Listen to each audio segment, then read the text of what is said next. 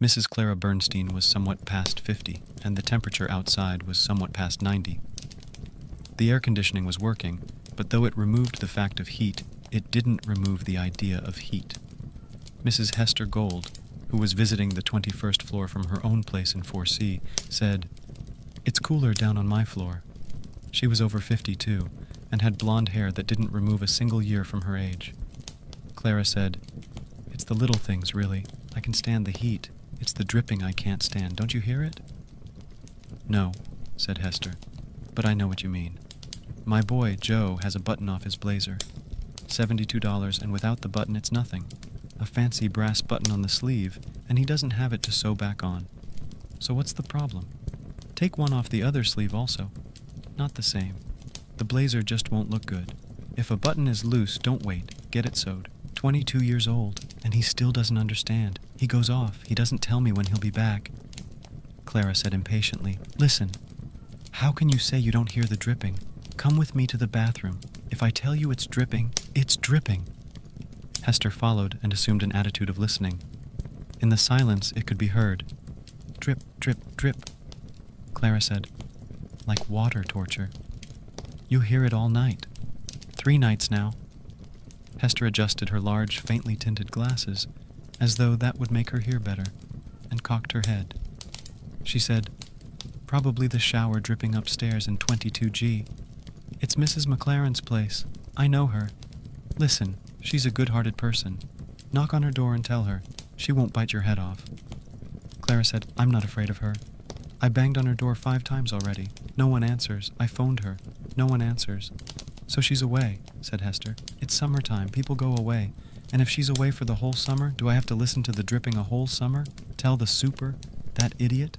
He doesn't have the key to her special lock and he won't break in for a drip. Besides, she's not away. I know her automobile and it's downstairs in the garage right now, Hester said uneasily. She could go away in someone else's car. Clara sniffed. That I'm sure of. Mrs. Maclaren. Hester frowned. So she's divorced. It's not so terrible. And she's still maybe 30, 35, and she dresses fancy. Also not so terrible. If you want my opinion, Hester, said Clara, what she's doing up there I wouldn't like to say. I hear things. What do you hear? Footsteps, sounds. Listen, she's right above, and I know where her bedroom is, Hester said tartly. Don't be so old fashioned. What she does is her business. All right. But she uses the bathroom a lot, so why does she leave it dripping? I wish she would answer the door. I'll bet anything she's got a decor in her apartment like a French I don't know what. You're wrong if you want to know. You're plain wrong. She's got regular furniture and lots of houseplants. And how do you know that? Hester looked uncomfortable. I water the plants when she's not home. She's a single woman. She goes on trips, so I help her out. Oh. Then you would know if she was out of town. Did she tell you she'd be out of town? No, she didn't. Clara leaned back and folded her arms. And you have the keys to her place, then? Hester said, Yes, but I can't just go in. Why not? She could be away. So you have to water her plants. She didn't tell me to, Clara said. For all you know, she's sick in bed and can't answer the door. She'd have to be pretty sick not to use the phone when it's right near the bed. Maybe she had a heart attack. Listen, maybe she's dead and that's why she doesn't shut off the drip. She's a young woman. She wouldn't have a heart attack. You can't be sure. With the life she lives, maybe a boyfriend killed her. We've got to go in. That's breaking and entering, said Hester, with a key. If she's away, you can't leave the plants to die. You water them and I'll shut off the drip. What harm? And if she's dead, do you want her to lay there till who knows when?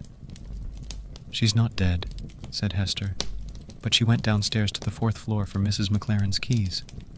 No one in the hall, whispered Clara. Anyone could break in anywhere, any time. Shh, whispered Hester. What if she's inside and says, Who's there? So say you came to water the plants and I'll ask her to shut off the drip. The key to one lock and then the key to the other turned smoothly and with only the tiniest click at the end. Hester took a deep breath and opened the door a crack. She knocked. There's no answer, whispered Clara impatiently. She pushed the door wide open. The air conditioner isn't even on. It's legitimate. You want to water the plants. The door closed behind them. Clara said, It smells stuffy in here. Feels like a damp oven. They walked softly down the corridor. Empty utility room on the right. Empty bathroom. Clara looked in. No drip. It's in the master bedroom. At the end of the corridor, there was the living room on the left, with its plants. They need water, said Clara. I'll go into the master bath. She opened the bedroom door and stopped. No motion, no sound. Her mouth opened wide. Hester was at her side. The smell was stifling. What? Oh my God, said Clara, but without breath to scream. The bed coverings were in total disarray. Mrs. Maclaren's head lolled off the bed, her long brown hair brushing the floor, her neck bruised, one arm dangling on the floor, hand open, palm up. The police, said Clara. We've got to call the police. Hester, gasping, moved forward. You mustn't touch anything, said Clara, the glint of brass in the open hand. Hester had found her son's missing button.